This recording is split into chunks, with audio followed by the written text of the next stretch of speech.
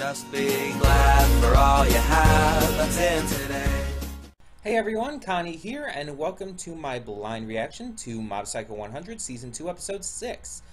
So yeah, it seems like it's uh, been a little bit because of uh, just this past weekend being taken off and everything.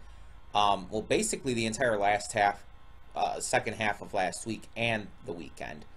Um, just as a reminder for anyone who may not have known why that all happened, um, in the middle of last week, I believe it was on Wednesday, my father uh, was working out and he ended up hurting his arm. Um, he pulled a tendon and um, was having some pains from it.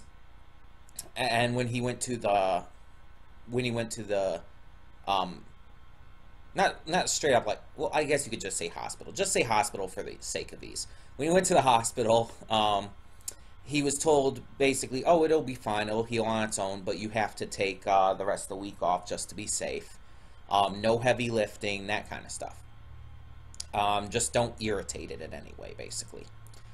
And so he had to take the rest of the week off, and so I decided personally that I was going to cut things uh, out for that for the rest of the week because as I mentioned, it, it's possible to record in my room, but I'd really rather not if I don't have to. Um, the only time I'll, I, I think I I'd be willing to record in my room is if uh, the temperature in in in in my room is like uh, is okay at the moment because as I mentioned before, it traps in temperature. If it's really cold out, like it gets really fucking cold in there, and I'd rather not just constantly bundle up uh, with all of these layers just to be able to record a simple video, you know? Um, so, yeah, the only time I think I'd really uh, be willing to do that is if the temperature is okay enough to where I wouldn't need to bundle up anything anymore. Um, and if it's something I really need to get to. But I also decided to take off uh, those days last weekend during the weekend um, because I noticed, uh, especially when taking them off, I noticed uh, basically the very next day that uh, I, have been put. I, I, this is an issue I have a lot, but I've been pushing myself too hard again with these reactions. Um, it happens very often to where I, I just try to do too many reactions at once. Uh, trying to do two reactions both on Saturday and Sunday each, it was it was stupid of me, to put it simply. It, it wasn't a smart idea. And then to do all the other reactions during the week as well, it just wasn't going to work out. So I needed to cut back and I needed to change things around a bit, um, which also helps to freshen out the channel, make things a feel a little more fresh and new and everything, which, as you know, I'm all about. I want the channel to keep feeling that way instead of just feeling like the same old, same old uh, every day, every week, every month, so on and so forth.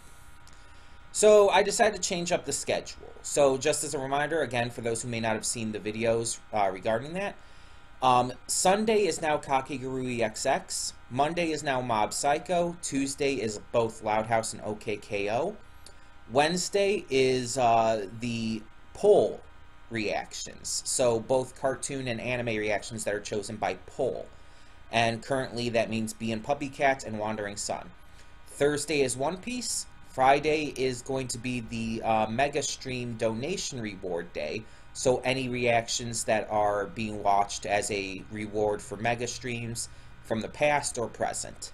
Uh, currently, it will be returning to Dofus. And Saturday will still be JoJo.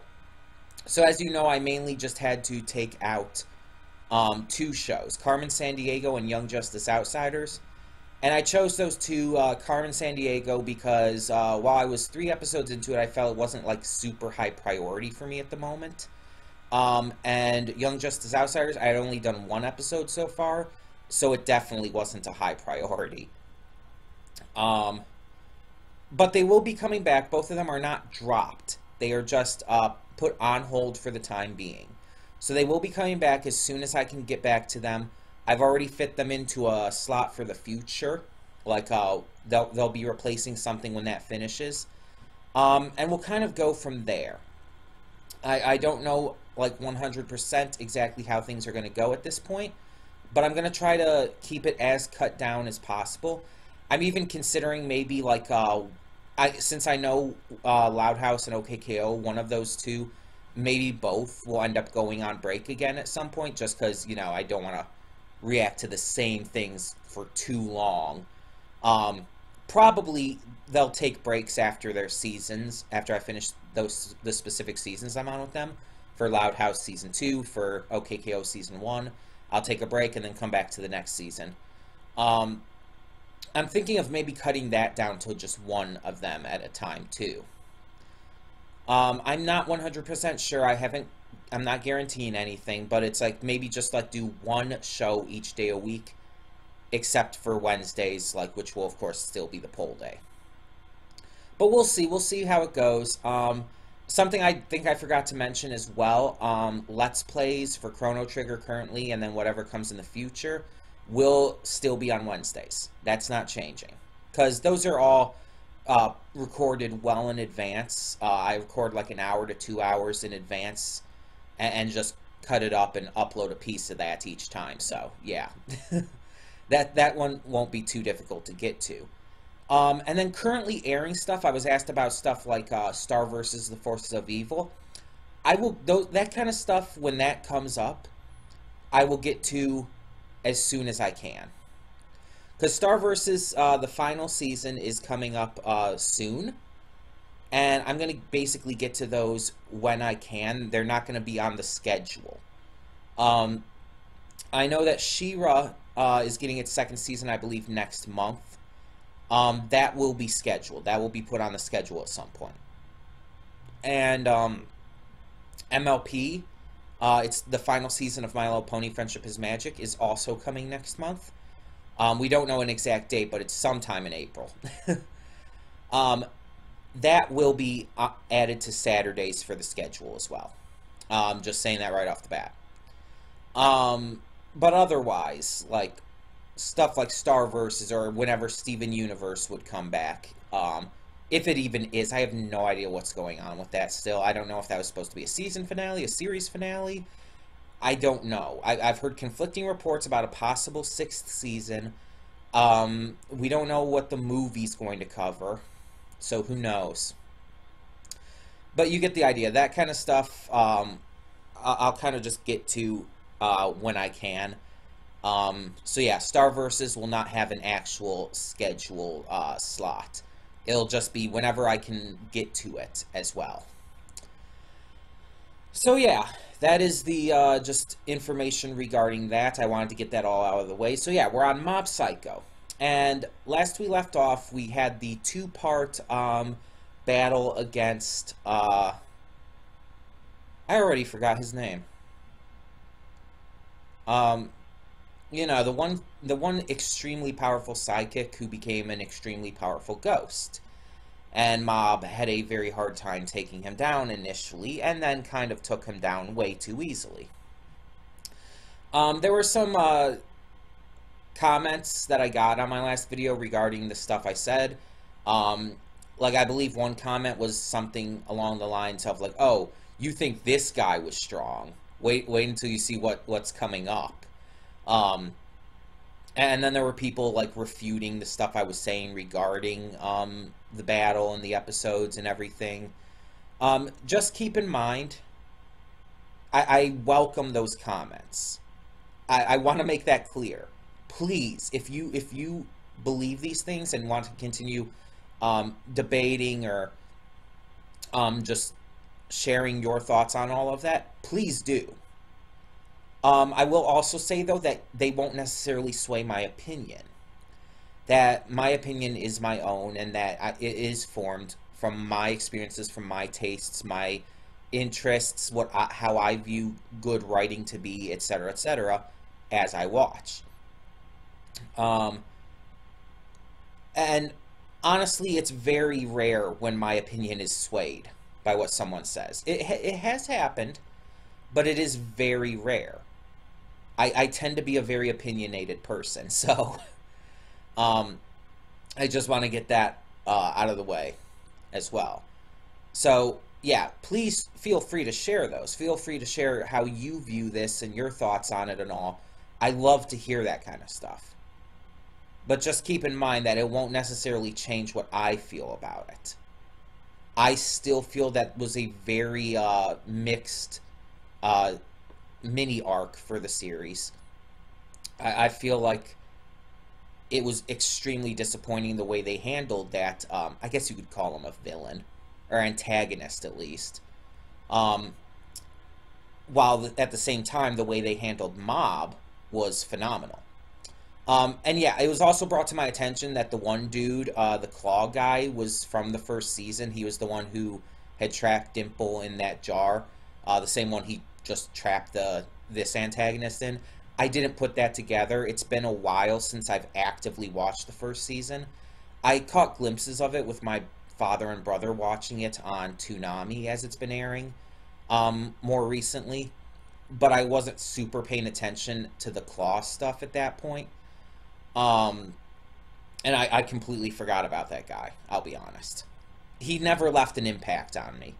Um, there are only a couple of the Claw uh, characters who really left any form of impact on me, who I've ever found to be any kind of interesting or uh, good characters. To be honest, uh, Claw was really disappointing for me in the first season, so I'm really hoping that they do some better stuff with uh, them this season.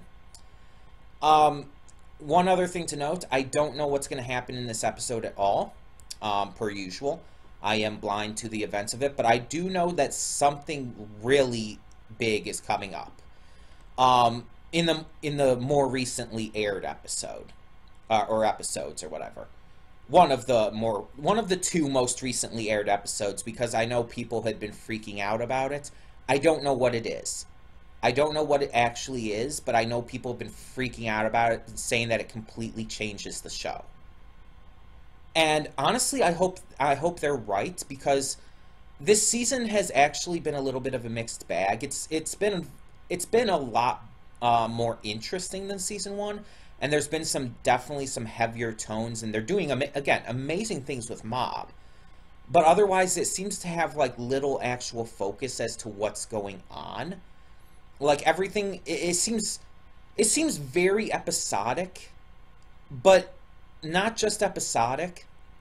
It almost seems like it's uh com- like I said, completely unfocused. And after the after what I do remember of the finale of season one, it feels like it's just kind of reverting. Like it's not. It, it's kind of just going back to the status quo, and I feel like that's again after what I do remember from season one's uh, final arc. I don't like that. I don't think it should be doing that. That makes like no sense to me to try to go back to the status quo. But again, if the if this uh, if the more recent episodes uh, everything's going to change or whatnot with this series, maybe that's a good thing. Um, I want to make it clear. Um, I don't dislike what's what we've been seeing overall with this uh, season, and I don't dislike Mob Psycho as a series. Um, but it's definitely far inferior to One Punch Man, the other uh, series done by the original creator one. Definitely far inferior. Um, and honestly, I'm just not that into it. I know, like, uh, uh, what's his face? Geoff Thew, Mother's Basement.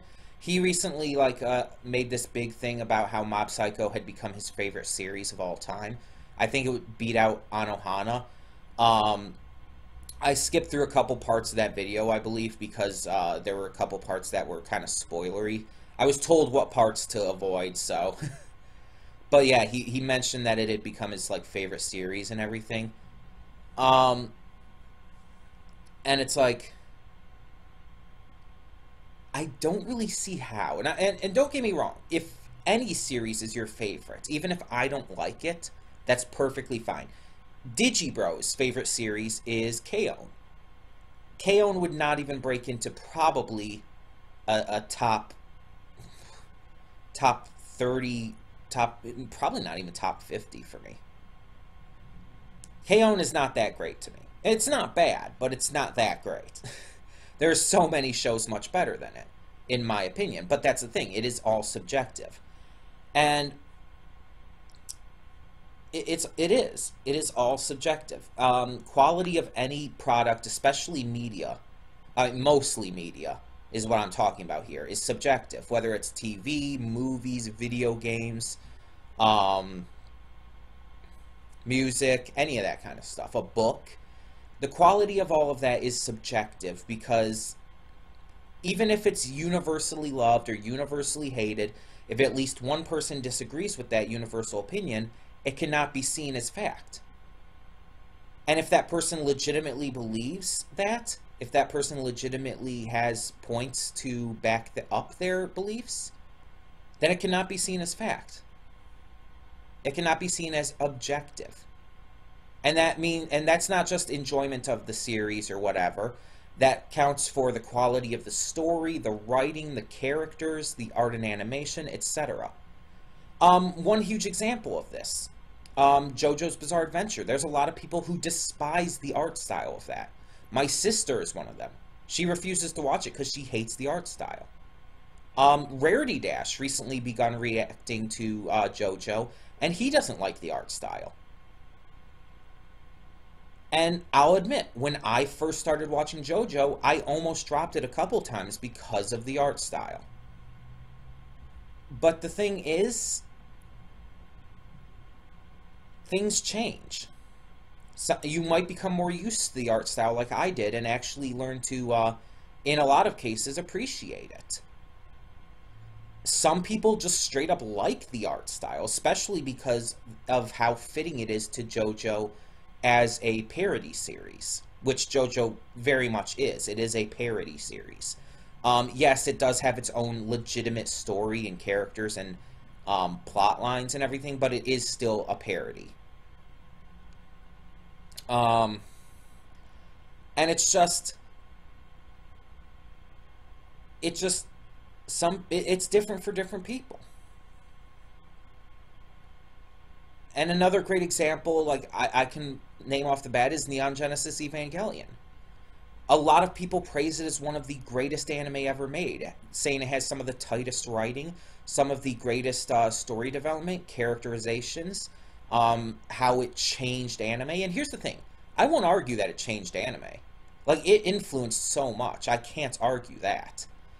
But I can argue writing, characterization, that kind of stuff. And I'm, I know I'm not the only one. I know that there are other people who don't like Evangelion, who think it's really kind of crappy. And it's all subjective, though. So yeah, that's all, that's all I'm trying to say here. I know these pre-thoughts are turning out to be a little long, but um, well, one, I had I I wanted to talk about the change in schedule and everything. Um, but also, yeah. Um, so when I'm like when I'm having like certain issues with how Mob Psycho has been going with season two so far, uh, it, it's just my opinion.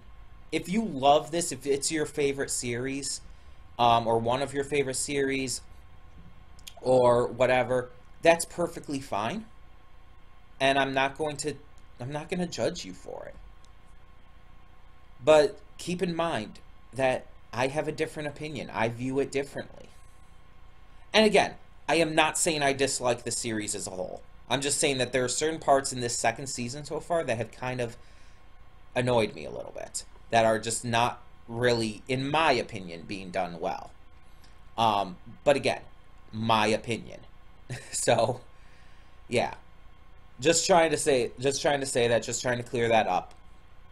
Um, but yeah, I'm excited to uh, get to this either way. I'm really hoping that it does live up to things because I'll be honest, um, I I really think that if it does continue to go the way it's going, it might be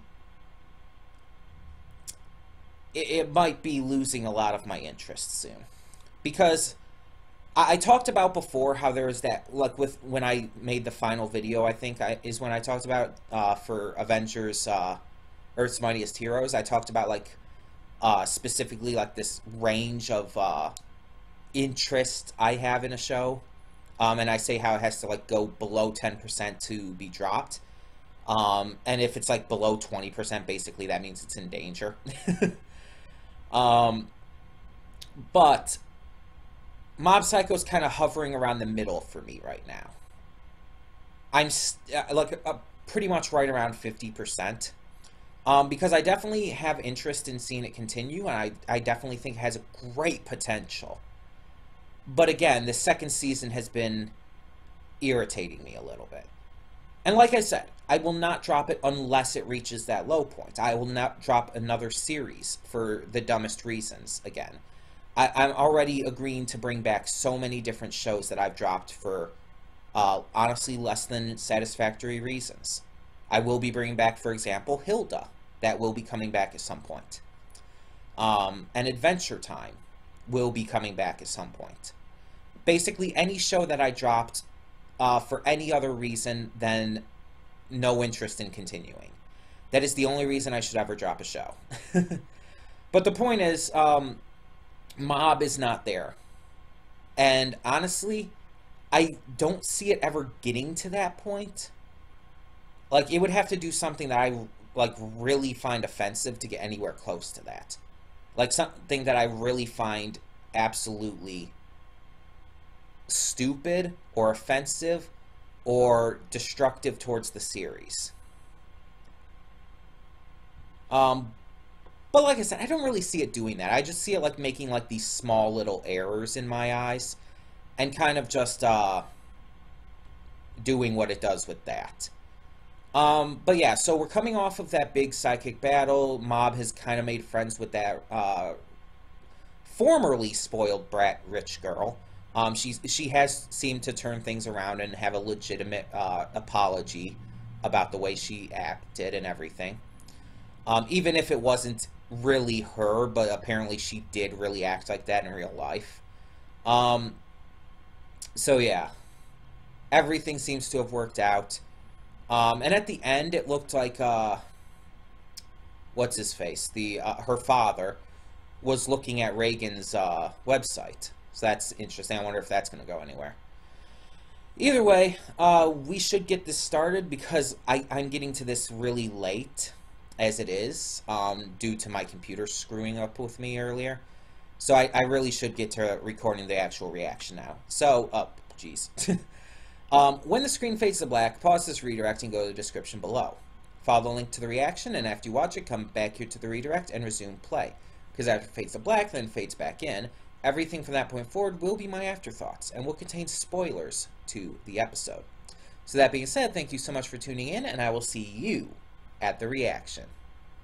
Okay, and we are back, and we'll begin with spoilers in three, two, one, now.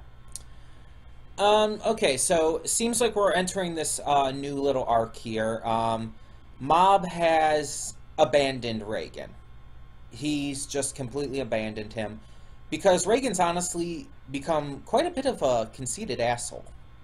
And the thing is, Reigen's always been kind of conceited and kind of full of his own hype and everything, and I get that.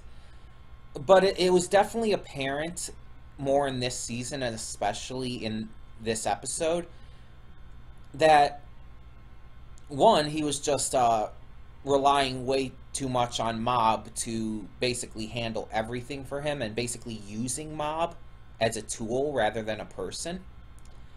And two, that, um, well, as we found out, he really was nothing without Mob. So he, he convinced Mob, rather, that the opposite was true, that Mob was nothing without him.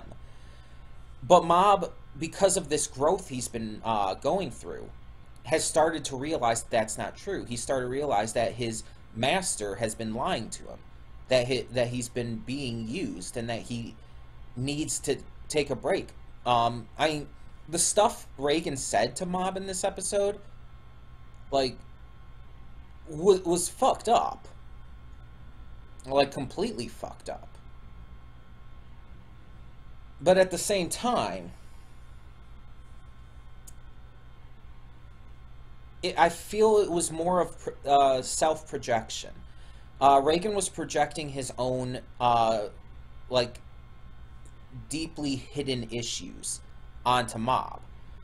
We find out that Reigen's the one who doesn't really have friends. That Reigen's the one who's just kind of lived this uh, life using people and not really having anything to himself.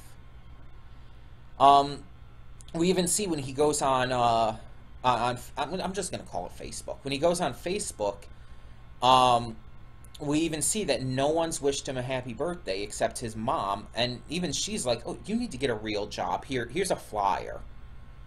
And it's just like he I think he's even starting to realize how shitty he's been.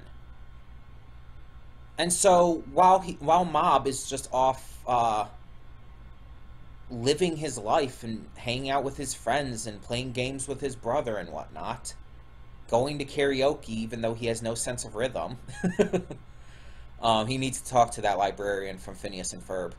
Um, but in, in all seriousness, while Mob's doing all this, Reigen is actually also trying to make a change. He's trying to do other stuff.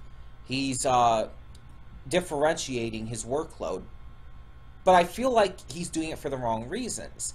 He's getting more popular, and that seems to be his focus here. He's trying to gain that popularity, kind of confusing it with um, with friends, with friendship.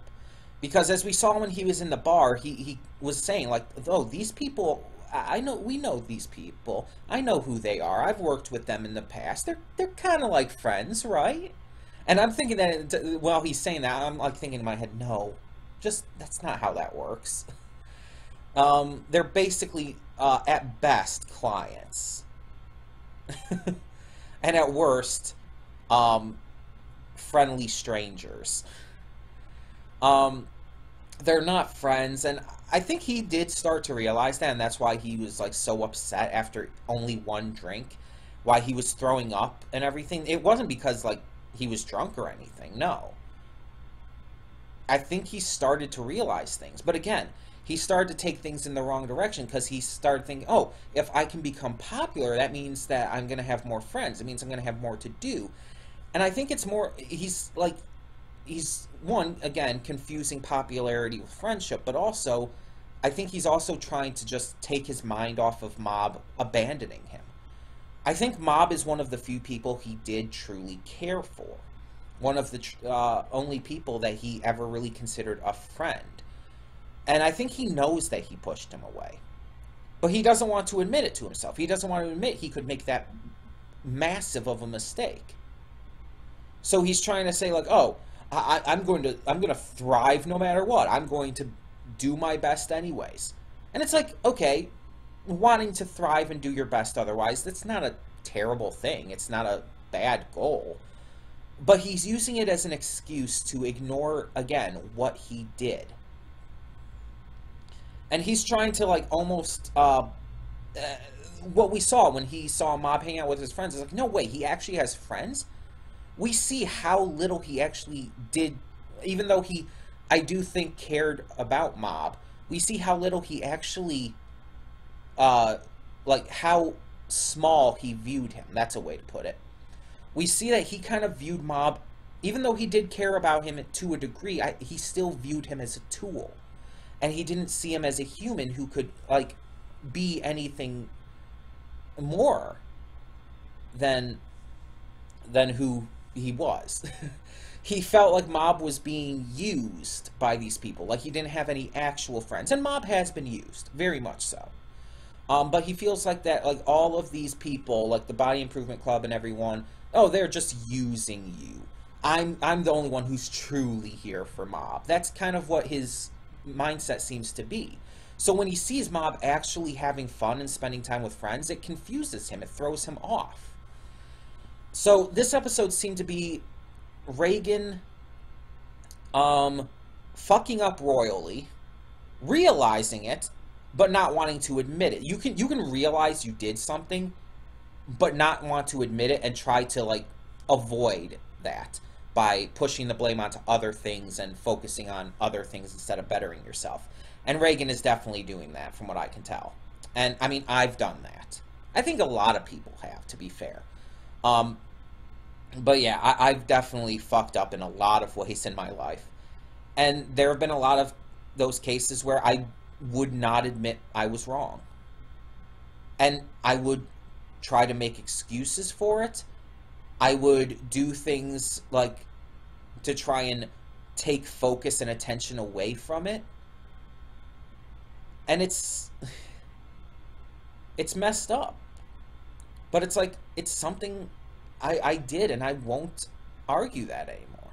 I will not only just acknowledge it, I will own up to it. And that's the thing.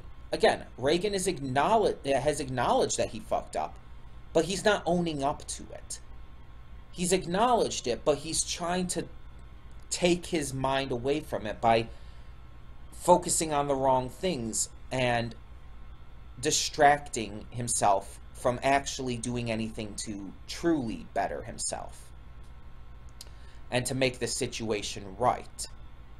See, what he should have done is obviously confronted Mob, not in an aggressive way, of course, but confronted Mob and truly apologized. Genuinely, truly apologized for using him, for treating him like shit, for treating him like a like like a tool, and, and for completely uh, disregarding Mob's personal life for all of this time.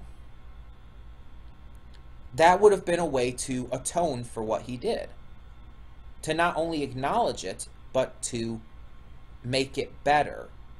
To actually do something about it. But instead, he just goes off in the other direction and runs with it. So, with the ending here, we see that this other sidekick guy who was at the um, uh, the was he a business owner? I don't remember. Uh, but the rich guy's home to help exorcise uh, the evil spirit out of the girl. Um, and he's upset because Reigen, while he was possessed, Reigen, well, while this guy was possessed, he was kicked by Reigen. um, so yeah, and he's upset about that. So he's trying to ruin Reigen's reputation right now. And I'll be honest, I hope it works. I hope Re- Reigen's reputation shoots into the shitter, and I hope his business is ruined. A lot of this series, the a lot of the first season and even second season so far, um, the spirit, the spirits and such consultation office, it's been a main plot point. It's been a main setting for a lot of this. It's been a main part of uh, both Mob and Reigen's uh, characters. I want it to be destroyed here. For two big reasons. One, I think that that will be the breaking point for Reigen. That will be where Reigen finally snaps, not only just realizes and acknowledges what he did, but will finally work to make it better and make himself better in the process. And two, I feel like the literal destruction of that and all. Not like literal, okay, not literal destruction, but you know, but the spirits and such consultation office and all that, Reigen's career as a psychic and everything. I think that all of that falling apart will allow for some of the greatest development for both Mob and Reigen. Having them, having all of this fall apart for Reigen, will allow for him to really become vulnerable as a character which would allow for him to do as I said and confront Mob and apologize in complete, genuine sincerity, which could allow for them to not become master and student again, but to become friends, to work together in a in a codependent relationship. And I think that would be an amazing, amazing moment for the series. Now, I don't know if this is where it's going to go. I have no idea. I have not uh, seen, luckily, any spoilers, as I said, except for what I mentioned in the in my pre-thoughts about knowing that something really big happened in the recent episodes. Um, but yeah, I don't know where exactly this is going. But as I said, I want that to happen. I think it would be the best decision on the series at this point to just completely destroy Reigen's career. And I think after all of that is said and done, if his career is destroyed, if he and Mob make up and everything, and become friends and like codependent on each other rather than uh, a master-student relationship, they can begin to be not only just rebuild their relationship, but maybe rebuild their career as a duo instead. Not and not as like some kind of scam situation like it used to be. But as a legitimate psychic duo. Reigen using his marketing and just intellectual skills while Mob uses his legitimate skills as the exorcist of the team. It could do so much wonders for the series, and I think if that were to happen, it would have my uh, interest in this series, which, as I mentioned in my pre-thoughts, is probably about like around 50% uh, before I watch this episode, um, which has raised, by the way. I will say that it's raised a good amount, like probably 10 15% after this episode. Um, but if they did that, it would shoot up very significantly because that would be like the best again the best thing they could do here. If Reigen is able to, uh, I, I feel the worst thing they could do is if Reigen is able to get past this.